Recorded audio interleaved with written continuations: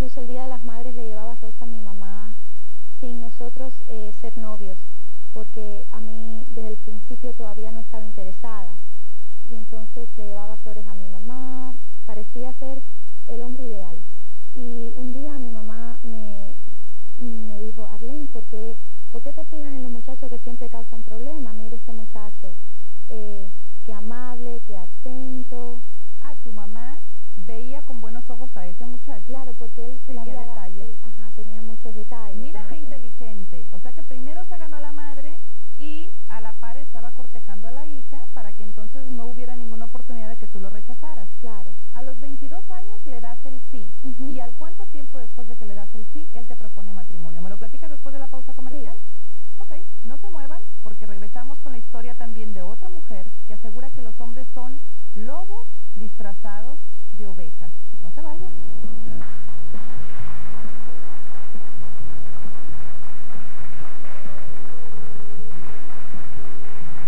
Seguimos en este tema. El día de hoy estamos hablando de relaciones tormentosas y antes de la pausa conversábamos con Arlene sobre la relación que tuvo con un hombre sumamente celoso y obsesivo, pero encantador con la mamá.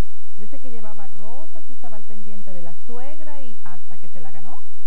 Mira que para ganarse una señora se necesita porque las mamás tienen un sentido tan desarrollado que cuando dicen ese no, es ese no. ¿Quién sabe qué, qué traen conectado adentro, verdad? En, en tu caso, tu mamá te decía, ese sí, Arlene. Sí. O sea, que tú antes eh, te perseguían hombres que eran eh, conflictivos.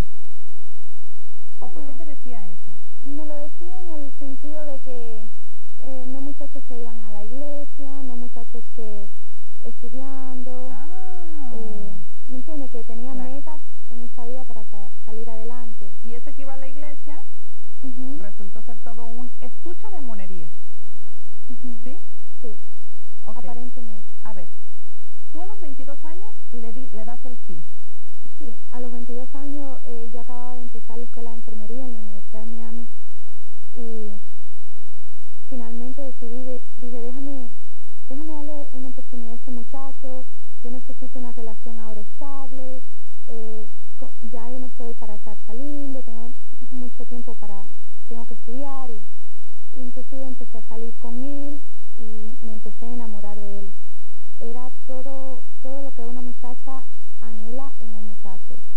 Me llevaba a pasear, me, se quedaba noches ayudándome a estudiar, eh, me compraba comida, almuerzo para que yo no me preocupara por eso. ¿Cuánto tiempo duró esta luna de miel, por ponerle una palabra? al- La luna de miel eh, duró unos cuantos meses, duró unos cuantos meses. A los ocho meses y medio después él me propuso matrimonio. Ocho meses y medio después. Correcto. Hasta este tiempo él no había dado ninguna nota de ser agresivo. Ocho meses y medio invicto de agresividad. No, no invicto total. Eh, fueron varios, pero pocos. Y, no, y ¿Qué no- obviamente no tan graves. ¿Qué hacía Arlen? Eh, por ejemplo, yo soy una persona muy, muy amable, con, con inclusive personas que, que no conozco. Eh, estábamos en un lugar, un restaurante o algo, y una muchacha o un muchacho decían algo, lo que sea, como buscando un comentario de otra persona, como "Ay, que esta comida está tan rica, esto y lo otro, y, y te miraban para que dijeras, ay, sí, que rica está la comida, lo que sea.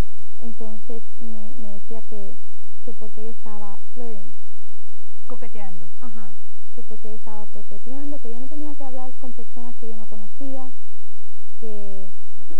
que porque yo era así, que si lo otro. O sea, en tono celoso. sí, en tono celoso empezó así. Cuando fue subiendo, supongo, de tono. Definitivamente. Estas, estas agresividades. Definitivamente, eso fue el principio nada más. Y después, Eh, después era que, porque el celular, me llamaba el celular y por qué yo no contestaba el celular. Bueno, no contesté porque en ese momento estaba en la calle y no pude llegar al celular.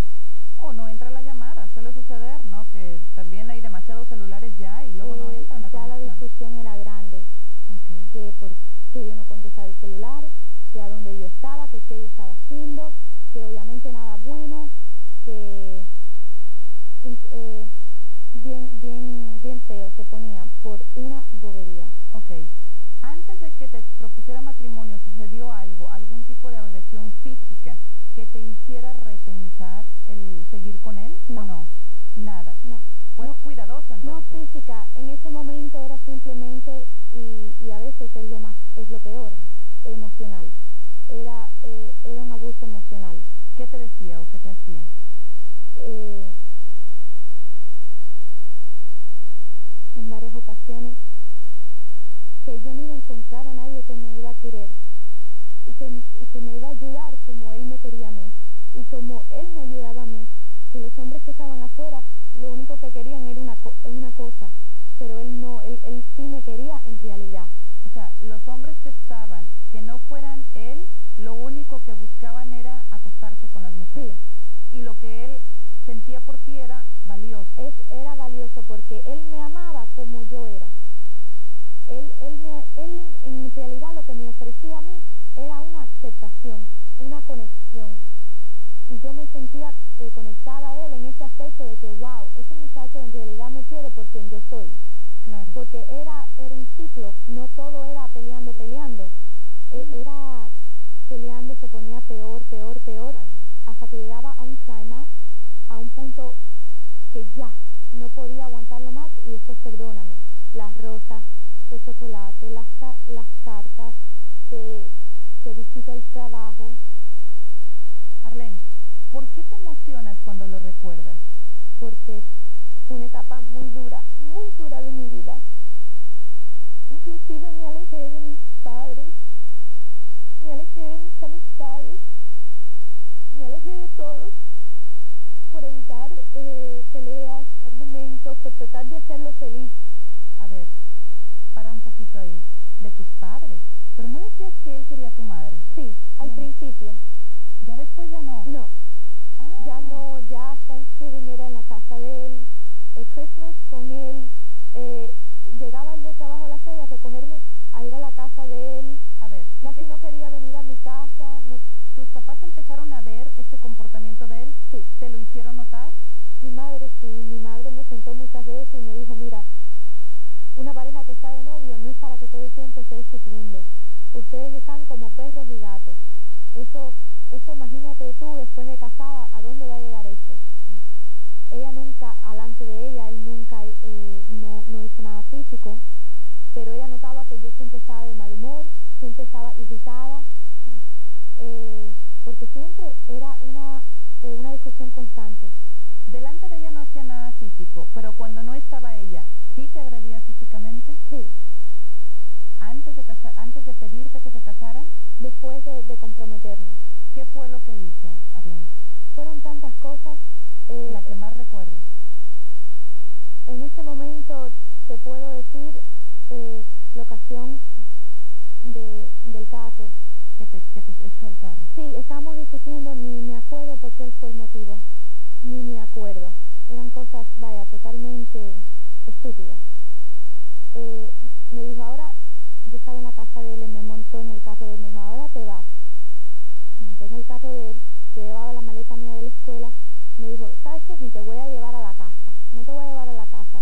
Y en medio de la, de la 56, de la, de la 56 calle, ahí me, me dijo, eh, viró un U-turn, entró a un bloque de, ah, donde estaban las casas, a ese block, y paró el carro, me dijo, ahora bájate, camina para la casa, así como estás en tacón y todo. Me tiró la mochila en, el, en la calle, en la, en la sidewalk, y, y yo la cogí y le dije, está bien, yo no te necesito. Cogí la mochila y empecé a caminar para, para la casa. Yo pensé que él se había ido. Él no se había ido. Él había manejado otra vez, dado un U-turn para venir en la dirección opuesta a mí, es decir, frente a frente. Sí, sí, sí, se Yo regresó. estaba caminando por, por el sidewalk y él venía por la calle. Cuando en eso entra por un, como un driveway que había para que el carro entrara, rápido, rápido, rápido, como que me iba a arrollar. Dios mío. Adelante, adelante, yo me quedé así parada, totalmente en shock. Paró el carro así, adelantico de mí, ahí mismo adelantico de mí. Y me dijo, entra, entra al carro. Ahí siguió la discusión. Yo le dije, ¿tú me vas a arrollar?